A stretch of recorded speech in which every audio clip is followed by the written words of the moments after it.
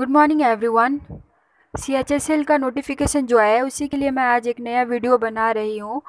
तो पहले तो मैं बता दूँ कि मैं अपने जीके का जो को स्टार्ट करने वाली थी ना क्लास तो उसको तो मैं स्टार्ट नहीं कर सकती बिकॉज़ इसमें ज़्यादा सब्सक्राइबर नहीं है। अगर आप चाहते हैं कि मैं वो क्लास लेकर आऊँ तो जल्दी से जल्दी अच्छे खासे सब्सक्राइबर बना दीजिए।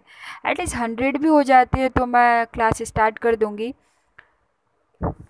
तो अब बात करते हैं हम, जो एग्ज़ाम पोस्टपोन हो चुका है हमारा जेई का मेन एग्ज़ामिनेशन अब पोस्टपोन होकर हो गया है वन टू सिक्स सेप्टेम्बर ये between one two six September ये एग्ज़ाम होना है मेन एग्ज़ामिनेशन एंड इसके exam advance exam will be held on twenty seven September उसी तरह एन e का एग्ज़ाम भी नीट का एग्ज़ाम वो भी पोस्टपोन हो गया है। वो अब होगा थर्टीन सेप्टेम्बर तो सबके माइंड में अब बहुत सारे सवाल आ रहे हैं कि सी एच एस एल का एग्ज़ाम भी पोस्टपोन हो जाएगा क्या?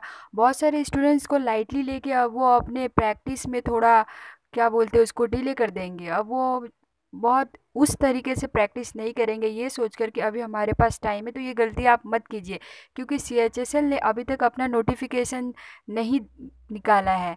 और नोटिफिकेशन में उसने कुछ क्लियर बताया भी नहीं है। अगर कुछ ऐसा होता है तो वो ज़रूर कुछ बताएँगे हमें।